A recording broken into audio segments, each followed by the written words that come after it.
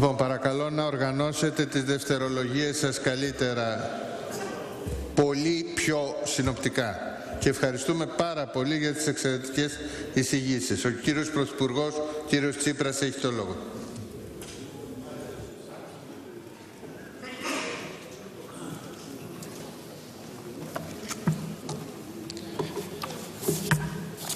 Ευχαριστώ κύριε Πρόεδρε.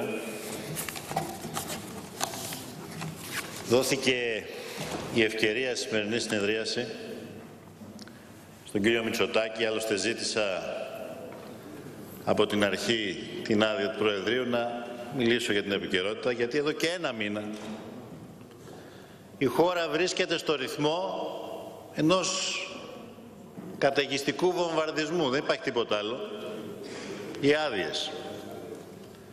Και ξαφνικά μετά από τον διαγωνισμό ανοίξανε με έναν καταιγιστικό ρημαγδό από όλα τα μέσα τα οποία δεν κατάφεραν να διοδοτηθούν αλλά και από άλλα τα οποία ξαφνικά αντιλαμβάνονται ότι πρέπει να πληρώσουν ή και από τρίτα που εδώ και καιρό έχουν αντιληφθεί ότι δεν μπορούν να πάρουν άλλα θαλασσοδάνεια. Ένας οριμαγδός ότι η χώρα καταραίει, η κυβέρνηση καταραίει και έδωσα την ευκαιρία στον κύριο Μητσοτάκη να τοποθετηθεί σε αυτά τα ζητήματα. Ο κύριος Μητσοτάκης όμως αποφάσισε για άλλη μια φορά να αποδράσει, να σιωπήσει. Ενδεχομένως να του συμβουλεύσαν οι επικοινωνιολόγοι ότι καλό είναι να μην μιλάει για αυτά τα θέματα, διότι στο σπίτι του κρεμασμένου δεν μιλάνε για σκηνή. Ή ενδεχομένως να μην θέλει να βάλει τα χέρια του να τα λερώσει, διότι κάνουν άλλη τη βρώμικη δουλειά. Όλους αυτούς που υπερασπίζεται με μανία εδώ και έξι και πλέον μήνες από την πρώτη μέρα που εξελέγει. Καναλάρχες, ιδιοκτήτες μέσω ενημέρωσης κάνουν αυτή τη βρώμικη δουλειά. Όμως ο κ. Μητσοτάκης σε μια αποστροφή του μου είπε εδώ έχουμε να συζητήσουμε για την παιδεία. Εάν θέλετε ζητήσατε άλλη προεμερησίας διάταξη συζήτηση για τη διαπλοκή. Ξέρετε κύριε Μητσοτάκη, μην κάθετε συχνά αιτήματα, διότι καμία φορά γίνονται αποδεκτά. Γίνονται αποδεκτά. Γίνονται αποδεκτά. Καταθέτω λοιπόν κύριε Πρόεδρε έτοιμα για πρώην μερισίας διάταξη συζήτηση στη Βουλή για τη διαπλοκή και για τη διαφθορά. Μην νομίζετε ότι θα αποδράσετε. Θα έρθετε να μιλήσετε εδώ με ονοματεπώνυμα και με διευθύνσεις μπροστά στον ελληνικό λαό. Ενώπιος ενώπιον. Μπροστά στον ελληνικό λαό. Δεν θα αφήσουμε αυτή τη λάσπη στον ανεμιστήρα αναπάντητη. Με ονόματα και διευθύνσεις.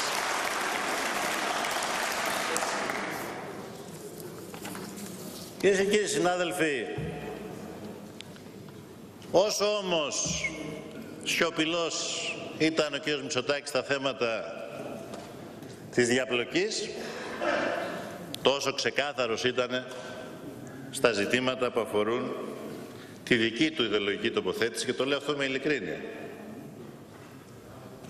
Διότι αυτό δημιουργεί ένα επίπεδο ενός κρυστάλλινου, μιας κρυστάλλινης αντιπαράθεσης ιδεολογικής και πολιτικής. Τόσο καθαρός ήταν στα θέματα που αφορούν της ιδεολογική, την ιδεολογική οπτική γωνία, στα θέματα που αφορούν την εκπαίδευση. Όπου υπερασπίστηκε την γνωστή νεοφιλελεύθερη ατζέντα του, που κατά τη δική μας εκτίμηση είναι και ταξικά μεροληπτική. Είναι μια ατζέντα που βεβαίως είναι ευκρινής, αλλά έχει όρια σε ό,τι αφορά την απήχησή της στην ελληνική κοινωνία, διότι παρότι δίνεται το μανδύα του φιλελευθερισμού, της ελευθερίας, ουσιαστικά υπερασπίζεται δικαιώματα μιας μειοψηφίας, των ολίγων. Και βεβαίως υπερασπίστηκε την απορρίθμιση της αγοράς, θα υπερασπίστηκε την, ε, μια εκπαίδευση για τα δικαιώματα των ολίγων, όπως υπερασπίζεται και σε άλλα ζητήματα, οφείλω επίσης να ομολογήσω, στην απορρίθμιση της αγοράς εργασίας, στα θέματα που αφορούν την κατεδάφιση του κοινωνικού κράτους, τις απολύσεις, περικοπές στο κοινωνικό κράτος, όπως και σε άλλα ζητήματα υπερασπίζεται συμφέροντα και δικαιώματα μιας μειοψηφίας. Και θα έλεγα ότι το βασικό χαρακτηριστικό της τοποθέτησής του για την παιδεία είναι ότι υπερασπίζεται μια εκπαίδευση κομμένη και ραμμένη στα μέτρα μιας αριστοκρατίας. προσέξτε, όχι μια εκπαίδευση των αρίστων, αλλά μια εκπαίδευση των ελίτ. Αυτές είναι οι ιδέες που πρεσβεύει η κοινωνία πολλών ταχυτήτων, όμως το τέλος τέλος είναι μια κοινωνία κατακαιρματισμένη, διχασμένη, όπου ο καθένας για τον εαυτό του και όλοι εναντίον όλων. Και βεβαίως πιστεύει ο κ. Μητσοτάκης, όπως και όλοι οι νέο φιλελεύθεροι, ότι χάρη σε κάποια αόρατη πρόνοια της αγοράς μπορεί να προοδεύσει ο κόσμος. Και όχι ότι η αγορά πρέπει να μπει υπό τον έλεγχο της πολιτείας που έχει νόμους και κανόνες. Και ότι η πρόοδος είναι απόρρια αυτής της γενικευμένης σύγκρουσης των πάντων με τους πάντες. Πόσο αλήθεια καταστροφική έχει αποδειχθεί αυτή η ιδέα στο διάβα των αιώνων. Θέλει λοιπόν ένα εκπαιδευτικό σύστημα κατ' εικόνα και ομοίωσης της αγοράς, και αυτό γίνεται ακόμα πιο καθαρό όταν μιλάει για το Δημόσιο Πανεπιστήμιο, όπου εκεί βγαίνει και μία προκατάληψη αρνητική για το ρόλο τους. Θα έλεγα με δύο λόγια ότι το πρόβλημά σας κύριε Μητσοτάκη δεν είναι ότι υπερασπίζεστε μια άποψη θεμητή κατά τα άλλα, την άποψη ότι πρέπει να υπάρχουν ιδιωτικά πανεπιστήμια. Το πρόβλημά σας είναι ότι μεροληπτείτε υπέρ των ιδιωτικών πανεπιστημίων και σχολείων ενάντια στα δημόσια σχολεία και πανεπιστήμια. Εμείς από την πλευρά μας κάνουμε ό,τι περνάει από το χέρι μας για να βάλουμε τα θεμέλια ενός εκπαιδευτικού συστήματος δημόσιου, καθολικού, δημοκρατικού, συμμετοχικού, ανθρωπιστικού, για να οικοδομήσουμε την παιδεία της ισότητας και της αγάπης για τη γνώση. Γιατί το τι μεταπτυχιακά θα κάνουμε στα πανεπιστήμια, κύριε Μητσοτάκη, δεν μπορεί να το καθορίζει αποκλειστικά η αγορά. Αλλά πρέπει να λαμβάνουμε υπόψη για τις ανάγκες τόσο της κοινωνίας, όσο όμως και της εκπαιδευτικής διαδικασίας, τα ερωτήματα των επιστημών και των επιστημών. Για παράδειγμα, η Ελλάδα είναι η χώρα που θα μπορούσε πράγματι να έχει τις σημαντικότερες μεταπτυχιακές σπουδές στη φιλοσοφία. Η χώρα του Πλάτωνα και του Αριστοτέλη. Μπορεί άραγε η αγορά να καθορίσει τις ανάγκες για μεταπτυχιακά προγράμματα στη φιλοσοφία. Άρα εξορισμού δεν θα μπορούσαν να γίνουν τέτοια. Είναι λοιπόν ακραία αυτή η άποψή σας. Εκτός όμως από την υπεράσπιση της αγοράς επιδοθήκατε και στην, ε, στο άθλημα της παραπλάνησης και των ανακριβιών. Και θέλω να πω ένα προς ένα να δώσω κάποιες απαντήσεις, όσο πιο σύντομα μπορώ. Πρώτον, μας είπατε ότι, και συμφωνούμε σε αυτό, η παιδεία χρειάζεται εθνική συνένεση. Ποια είναι η δική σας στάση; Τελειώσατε την ομιλία σας λέγοντας ότι θα τα καταργήσετε όλα όσα έχει φέρει ο ΣΥΡΙΖΑ. Αυτό δεν συνάδει με την παράδοση της παράταξής σας. Παράταξή σας, συντηρητική παράταξη, αλλά εν πάση περιπτώσει, πάντοτε από τα έδρανα της αντιπολίτευσης είχε μια λελογισμένη στάση. Εσείς ακολουθείτε μια έξαλλη αντιπολίτευση. Όλα στραβά τα έχουμε κάνει. Και μιλάτε εσείς για συνένεση, όταν εμείς κάναμε ένα χρονοδιάλογο και εσείς αποχωρήσατε από τη συζήτηση στην Επιτροπή Μορφωτικών Υποθέσεων. Το πόρισμα της οποίας το υπέγραψαν και μια σειρά από κόμματα της αντιπολίτευσης. Ποια συνένεση λοιπόν, ποιος δεν τη θέλει τη συνένεση; Μας λέτε, μας είπατε ότι σας πάμε, θέλουμε να σας πάμε στο παρελθόν και όχι στο μέλλον Κάνετε ιδιαίτερη αναφορά στη δεκαετία του 80, δεν ξέρω τι κατάλοιπα μπορεί να έχετε από αυτά τα χρόνια, πώς περνάγατε τη δεκαετία του 80, αλλά νομίζω ότι στη δεκαετία του 80 δεν ε, πισωγύρισε τη χώρα. Αλλά εν πάση περιπτώσει, αν μας λέτε ότι εμείς θέλουμε να πάμε στη δεκαετία του 80, τότε εσείς γιατί κάνετε αναφορά στο 1864 για να υπερασπιστείτε τα ιδιωτικά πανεπιστήμια μέσα από το Σύνταγμα; Πράγματι, για την ευρωπαϊκή παράδοση, τα ιδιωτικά πανεπιστήμια αποτελούν παρελθόν. Τόσο μακρινό. 1864. Μας είπατε ότι θέλετε κι εσείς ένα σχολείο που οι μαθητές να έχουν την ευκαιρία να ανοιχνεύσουν τα ταλέντα τους. Και τι κάνατε εσείς για αυτήν την ευκαιρία; Φτιάξατε το σχολείο που θέλει να τους κάνει όλους ίδιους. Αποψηλώσατε την εκπαίδευση από προσωπικό, σταματήσατε να δίνετε υποτροφίες και, μιλά, και μετά μας λέτε ότι θέλετε να δίνετε ευκαιρίες. Μας είπατε για τα πρότυπα σχολεία. Ξέρετε, τα ιστορικά πρότυπα σχολεία συνεχίζουν να λειτουργούν. Εμείς θέλουμε να δώσουμε το βάσο στα πειραματικά. Είναι αλήθεια. Αλλά εγώ δεν γνωρίζω πουθενά στον κόσμο, σε καμία εκπαιδευτική μεθοδολογία, να υπάρχει ταύτιση του πρότυπου με το πειραματικό. Κάτι το οποίο έκανε η κυρία Διαμαντοπούλου, την οποία ανεξήρατε πριν από λίγο. Και έχουμε διαχωρίσει, υπάρχουν τα πρότυπα, τα ιστορικά πρότυπα σχολεία συνεχίζουν να λειτουργούν, όμως θέλουμε να ρίξουμε το βάρος στα πειραματικά, όπως με επιτυχία έκανε στην δεκαετία του, έγινε στην Ελλάδα τη δεκαετία του 80 που ξορκίζεται, στα πειραματικά σχολεία που δοκιμάζονται νέες εκπαιδευτικές μέθοδοι σε μάθηση με διάφορες και διαφορετικές ικανότητες προκειμένου μετά να εφαρμοστούν και στο σύνολο της εκπαίδευσης και γι' αυτό στα πειραματικά σχολεία δεν πρέπει να πηγαίνουν μόνο μαθητές του 20 αλλά από όλο το φάσμα. Μας λέτε ότι υποβαθμίσαμε το ολόημερο σχολείο. Μα πώς το κάναμε αυτό; Αφόρα και για πρώτη φορά όλα τα δημοτικά μπορούν να λειτουργήσουν ως ολοήμερα και όλα τα παιδιά να πάνε σε αυτά.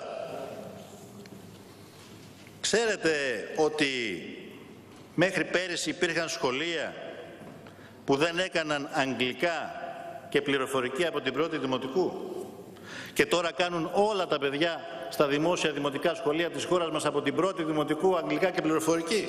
Αυτό ακριβώς θα καταργήσετε όταν λέτε ότι θα έρθετε και θα τα καταργήσετε όλα που κάναμε εμείς στην εκπαίδευση. Τις ώρες τις μειώσαμε όχι επειδή είμαστε με τη λογική της ίσονος προσπάθειας όπως επιχειρηματολογήσατε αλλά επειδή είναι παιδαγωγική επιστημονική άποψη το ότι τα παιδιά του Δημοτικού δεν μπορούν να αποδώσουν με τόσο μεγάλο, τόσο βαρύ πρόγραμμα, τόσες πολλές ώρες. Και αυτό δεν είναι δική μας θέση. Είναι πάγια θέση των εκπαιδευτικών. Μας λέτε πως οι αλλαγές στο γυμνάσιο έγιναν χωρίς διάλογο. Βεβαίως αν είχατε παραμείνει στην Επιτροπή Μορφωτικών θα ξέρατε αν έγινε ή δεν έγινε διάλογος. Μάλλον γι' αυτό το λέτε. Όμως πείτε μας για το περιεχόμενο. Αφήστε το αν έγινε διάλογος. Με τις αλλαγές στο γυμνάσιο διαφωνείτε; Πείτε καθαρά στην ελληνική οικογένεια πως εσείς είσαστε ικανοποιημένος με το εξεταστιοκεντρικό γυμνάσιο και θέλετε έτσι να παραμείνει. Και ό,τι αλλαγές γίνονται για να καταργηθεί αυτό το γυμνάσιο εξεταστικό κέντρο θα τις αλλάξετε και θα γυρίσουμε ξανά πίσω. Μας λέτε για τις αλλαγές που κάναμε πέρυσι στο Λύκειο. Μάλιστα. Γιατί εσάς δεν σας έφταναν οι πανελλήνιες εξετάσεις και η ζημιά που έχουν κάνει στο σχολείο, αλλά είχατε ψηφίσει να δίνουν τα παιδιά πανελλήνιες και στην πρώτη ηλικίου ακόμα και να πληρώνουν οι γονείς φροντιστήρια και να εξοντώνεται η εφηβεία των παιδιών και τα παιδιά να λειτουργούν σαν ρομπότ που δίνουν εξετάσεις. Ε, αυτά εμείς τα καταργήσαμε και γι' αυτά είμαστε περήφανοι. Μας είπατε Επίσης, πως τα ιδιωτικά σχολεία νομοθετήσαμε να μην μπορεί να γίνει απόλυση και άρα να μην μπορεί να επιλέξει ο σχολάρχης το προσωπικό και άρα κάποιος που δεν κάνει καλά τη δουλειά του, δεν είναι καλός εκπαιδευτικός, να μην μπορεί να αντιληφθεί. Δεν είναι ακριβές κύριε Μητσοτάκη. Δεν πρέπει να είστε καλά ενημερωμένος. Εμείς αυτό που κάναμε ήταν να επαναφέρουμε αυτό που είχε ψήσει η κυβέρνηση της Νέας Δημοκρατίας στην αρχή της μεταπολίτευσης να μην μπορεί να γίνει απόλυση χωρίς τεκμηρίωση σε υπηρεσιακό συμβούλιο. Και ξέρετε γιατί; Ακριβώς επειδή οι εκπαιδευτικοί επιτελούν δημόσιο λειτουργήμα. Δίνουν απολυτήρια και άρα πρέπει να διασφαλίζεται πως είναι ανεπηρέαστοι από πιέσεις. Δεν είναι απλά εργαζόμενοι εκπαιδευτικοί. Είναι και εργαζόμενοι και λειτουργοί ο κύριος Ράλης ως Υπουργός Παιδείας που το είχε θεσπίσει λοιπόν αυτό ήταν σοβιετικός όπως εμείς που μας κατηγορείτε τώρα. Ο αείμνηστος, με συγχωρείτε, ο αείμνηστος Ράλης ήταν σοβιετικός. Θα τρίζουν τα κοκαλά του το άνθρωπο. Μας είπατε για την αξιολόγηση. Εμείς ετοιμάζουμε έναν συνολικό νόμο για την αξιολόγηση στο δημόσιο. Αλλά για να δούμε τι εννοείτε εσείς όταν μιλάτε για αξιολόγηση και να δούμε μήπως εννοείτε το ίδιο και στα σχολεία, στους εκπαιδευτικούς.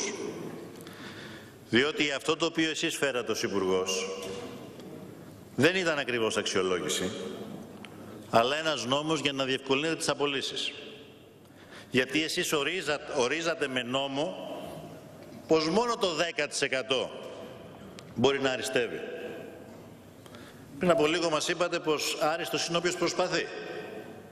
Δεν μπορούν να προσπαθούν και να τα καταφέρουν περισσότερο από το 10%. Και στο νόμο που εσείς, που εσείς ορίσατε, μας είπατε ότι το 15% υποχρεωτικά κατατάσσεται στην κατώτερη στη χαμηλότερη κλίμακα. Προφανώς για να απολύονται. Λοιπόν, εσείς δεν θέλατε αξιολόγηση, θέλατε δικαιολογία για απολύσεις. Η αξιολόγηση είναι άλλο πράγμα από αυτό που εσείς εννοείτε. Κανείς δεν είναι αντίθετο στην έννοια της αξιολόγησης, αλλά πρέπει να δούμε με ποιους όρους και με ποιες προϋποθέσεις και ιδίως ό,τι αφορά τους εκπαιδευτικούς, διότι επαναλαμβάνω δεν είναι απλά εργαζόμενοι, είναι εργαζόμενοι και ταυτόχρονα λειτουργοί. Για τα μεταπτυχιακά, εκφράσατε δυσαρέσκεια γιατί να είναι χαμηλά τα δίδακτρα.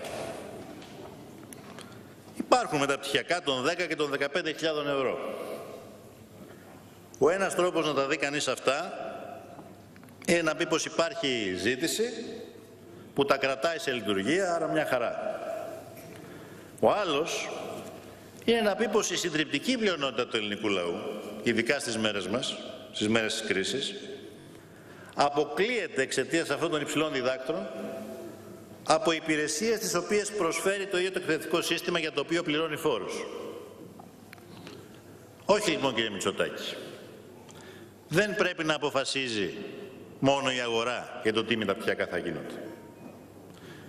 Εμείς επιχειρήσαμε να βάλουμε μια τάξη στο τοπίο των μεταπτυχιακών προγραμμάτων και μια χαρά μπορούν να αποφασίζουν τα ιδρύματα και τα τμήματα τι μεταπτυχιακά θα κάνουν. Και δεν είναι καθόλου ακριβές, δεν ξέρω αν σας έχουν ενημερώσει σωστά ή αν διαβάσατε τον νόμο. Εμείς λέμε απλώς ότι το Υπουργείο στο τέλος θα κάνει έλεγχο νομιμότητας για να δει αν δικαιολογούνται όντως τα ποσά που ζητούν από τους φοιτητές για μεταπτυχιακά προγράμματα.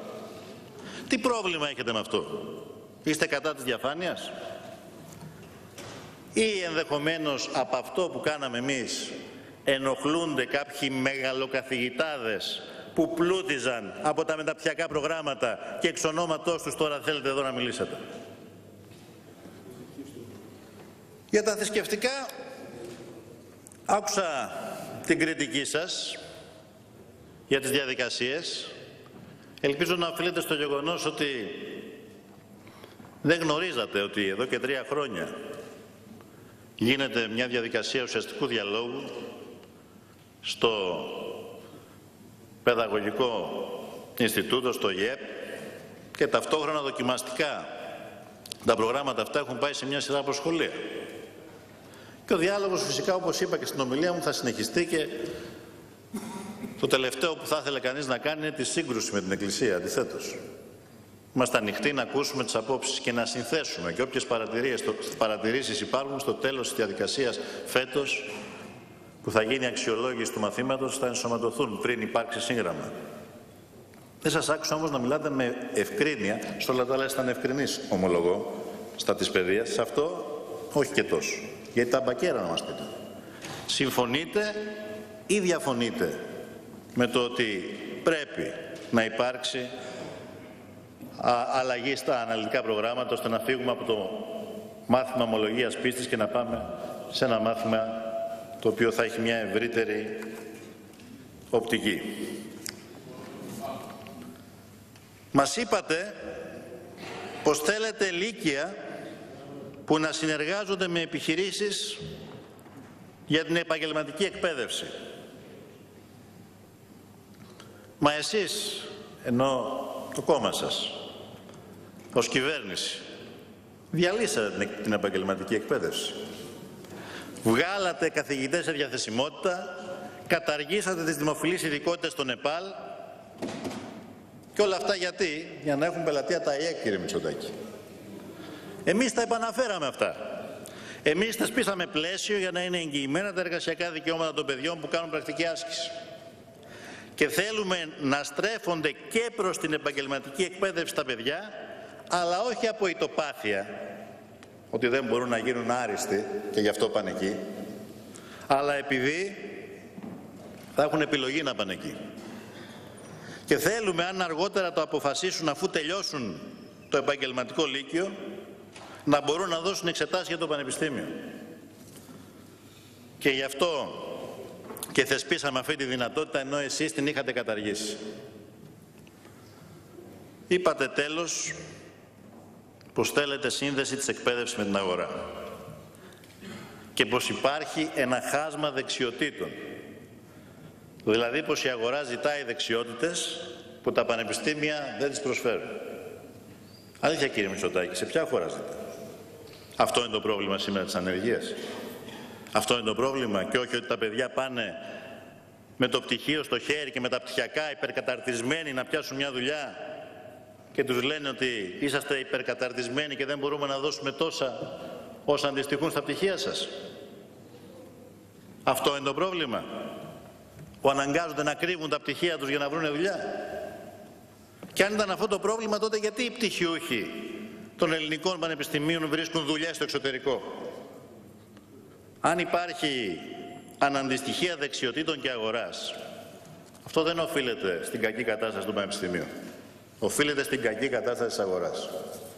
Και για να αλλάξει αυτό πρέπει να δουλέψουμε με έμφαση στην ενίσχυση της έρευνας και της καινοτομίας που τώρα την ενισχύουμε όσο ποτέ άλλοτε, πράγμα το οποίο δεν κάνατε ποτέ εσείς.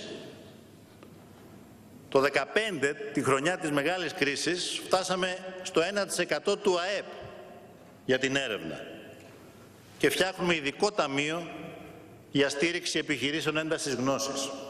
Πράγματα που εσείς ποτέ δεν υλοποίησατε, ποτέ δεν θελήσατε, δεν σκεφτήκατε καν να εφαρμόσετε και ας μιλάτε σε όλους τους τόνους για τις νέες τεχνολογίες, την καινοτομία. Κυρίες και κύριοι βουλευτές, θέλω να κλείσω με ένα σχόλιο.